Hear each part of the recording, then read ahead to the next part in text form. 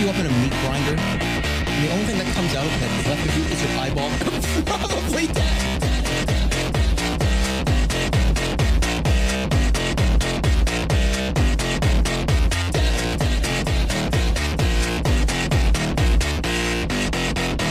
I'm not gonna put you into a meat grinder.